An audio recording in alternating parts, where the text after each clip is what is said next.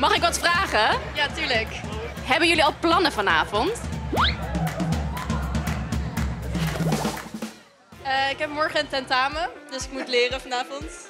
Hoe belangrijk is dat tentamen? Best wel belangrijk op zich. Het zou fijn zijn als ik het haal.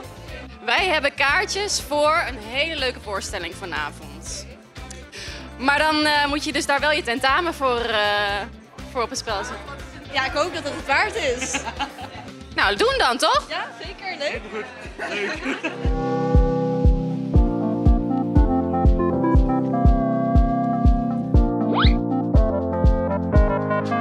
Hoe heet een Spanjaard zonder auto? Carlos. Er kwam een ehm, konijn bij de bakker eh, elke keer en die vroeg of er een... En de bakker zei ja, vies hè?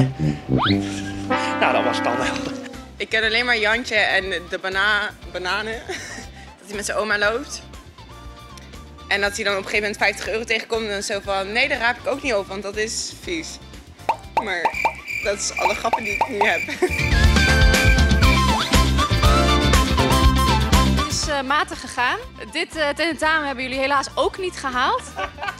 Dus we gaan jullie vanavond even laten zien wat een goede grap daadwerkelijk is. Ja, dus jullie mogen mee.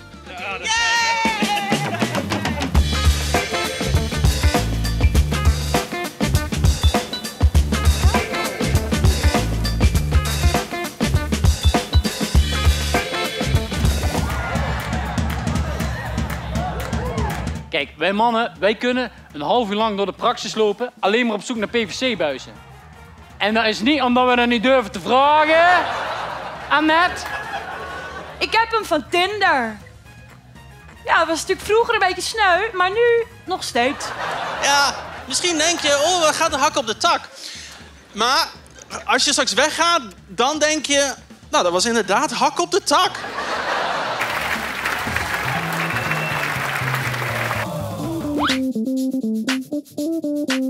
Nee, dat is oprecht wel grappig. Dat we Ja. even eerst in een café zaten en toen kwamen jullie naar ons toe met... Hey, wil je dit doen?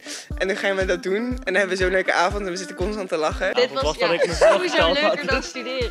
Zeker. En ik eh, hoop dat met deze gezelligheid dat morgen nog het tentamen haal, maar ik vrees Ja. van niet. Maar ja, dat is een probleem voor morgen. Probleem voor later, Dat was inderdaad. in ieder geval leuk. Het was het waard.